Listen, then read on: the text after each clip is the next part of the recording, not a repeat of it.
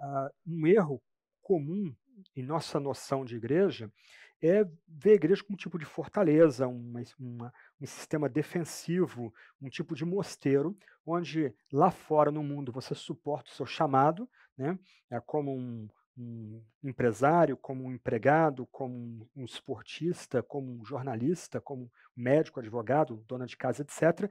Ah, mas dentro da igreja eu me realizo. Então, há testes, tipo testes vocacionais de dom espiritual, para ver qual é o seu dom, onde você vai se encaixar. Então, a ideia é que você pode negligenciar ou ah, tratar de forma negligente ou, ou pouco enganjada seu esforço lá no mundo, mas aqui dentro você é feliz, aqui dentro você se realiza. Esse tipo de noção está muito mais próximo do catolicismo do que do protestantismo do ensino da Bíblia. Então, a ideia aqui é, em termos bíblicos, a estrutura da igreja tem que ser enxuta, né, é, centrada em pastores, presbíteros, diáconos, alguns servidores.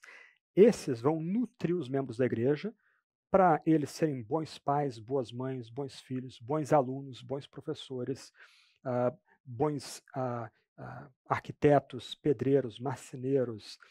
o que ele fizer, ele faz bem para a glória de Deus e para expandir o reino. Né? Então, a gente hoje vive numa era de inflexão, né, uma chamada era secular, né? mas, por exemplo, a gente pensa em época-chave da história da igreja, né? vou pegar aqui a Reforma Protestante, onde a Reforma ela inaugura uma nova forma de fazer arte, uma nova forma de fazer música, uma nova forma de fazer política, onde se não é papel daqueles que estão nessa esfera pregar, do outro lado, é papel deles fazer bem o seu chamado secular, de tal forma que Deus seja glorificado.